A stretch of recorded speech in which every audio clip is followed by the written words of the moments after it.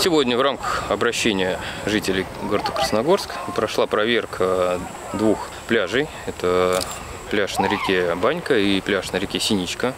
Соответственно, ну, общие нарушения для этих двух пляжей. Мы увидели, что территория замусорена, да, мы видим, что э, много окурков от сигарет, э, соответственно, и другой мелкий бытовой мусор.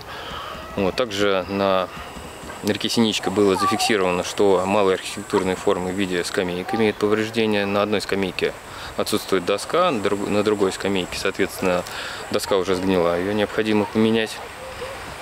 Вот. Также, э, соответственно, были выявлены, что не везде произведен окос травы, да, не в полном объеме это, по крайней мере, выполнено. Вот.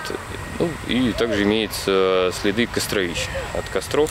Соответственно, все нарушения зафиксированы. По выявленным нарушениям а, от организации, ответственные за содержание пляжей, будет направлено уведомление, чтобы они незамедлительно явились в, театр, в территориальный отдел. Соответственно, будет выдано предписание на незамедлительное устранение выявленных нарушений.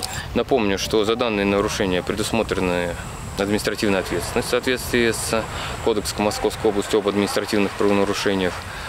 А, и предусмотрены штрафы за ненадлежащее состояние территории, да, выраженное там, в непокосе травы, в наличии там, мелкого мусора и так далее. Это статья 6.11, часть 1 КОАП Московской области. И штрафы предусмотрены для должностных лиц это от 20 тысяч до 50 тысяч рублей, а для юридических лиц это от 50 до 150 тысяч рублей. По малым архитектурным формам это статья 6.4 КОАП Московской области, и там штрафы до 40 тысяч рублей. Если будет незамедлительно все устранено, э, соответственно, то вполне возможно, что будут вынесены предупреждения.